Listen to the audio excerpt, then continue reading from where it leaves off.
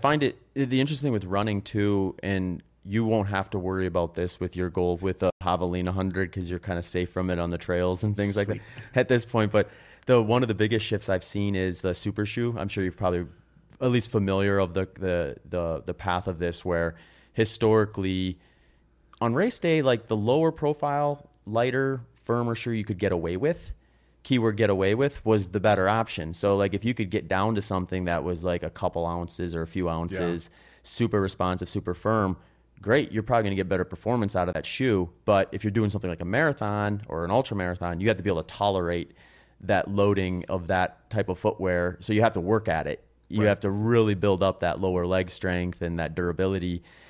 Uh, whereas now with the, the super shoes, essentially, I mean, there's there's some synergy between like the carbon plates and the foam, but really the foam is the big mover here. Where now you have something where essentially the more foam you add, the more efficient the shoe gets. To the degree where they've had to put regulations down as how high you could stack a shoe. Yeah, because they had it's going to get crazy. it, yeah, they put a limit on it